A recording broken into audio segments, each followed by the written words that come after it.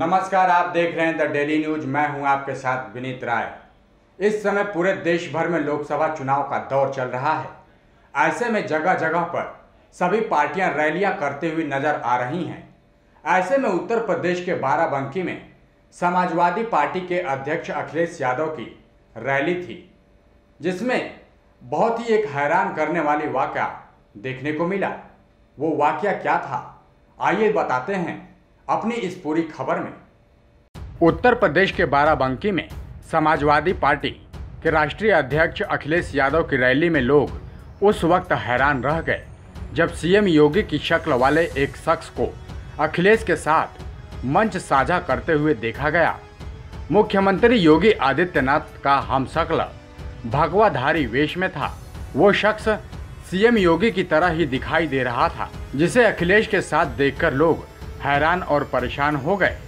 लेकिन कुछ ही देर बाद अखिलेश यादव ने उसकी असलियत पर से पर्दा उठा दिया। अखिलेश यादव ने चुटकी लेते हुए यहाँ तक जनता से ये भी कहा कि अब तो इनका भी समर्थन मिल गया है और क्या कुछ चाहिए आपको? अखिलेश ने आगे कहा कि ये जा रहे थे गोरखपुर, लेकिन हम इनको ले आए बाराबांकी। आपको बता दें कि अखिलेश यादव शुक्रवार को जनसभा को संबोधित कर रहे थे।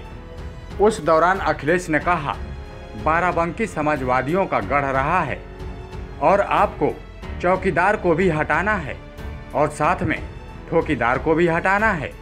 अखिलेश यादव ने यह भी दावा करते हुए कहा कि गठबंधन की जीत पक्की है। यहाँ तक कि अखिलेश यादव ने शनिवार को एक ट्वीट जारी करते हुए कहा कि हम नकली भगवान तो नहीं ला सकते हैं, पर एक बाबा जी ज़रूर लाए हैं।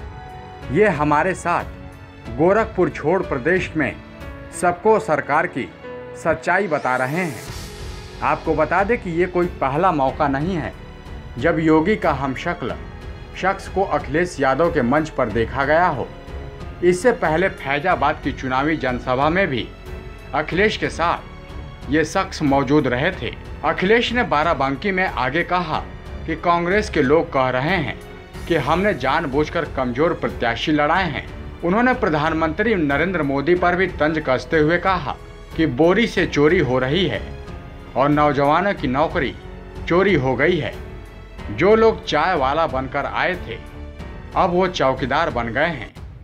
वहीं उत्तर प्रदेश के मुख्यमंत्री आदित्यनाथ योगी को आड़े हाथ लेते हुए अखिलेश ने यह भी कहा कि ठोको नीति से कानून व्यवस्था ठीक कर रहे थे लेकिन उन्होंने कोई भी वादा पूरा नहीं किया और उल्टा विकास को और रोक दिया, साथ ही साथ नफरत फैलाने का काम भी किया। अब देखना यही होगा कि अखिलेश यादव के इस दाव का बीजेपी पर क्या असर पड़ता है और इसका क्या जवाब देते हैं। उत्तर प्रदेश के मुख्यमंत्री आदित्यनाथ योगी, तब तक के लिए देखते रहिए आप लोग द डेली न्यूज़ और हमारे चैनल को लाइक और सब्सक्राइब करना बिल्कुल भी ना भूलें। नमस्कार।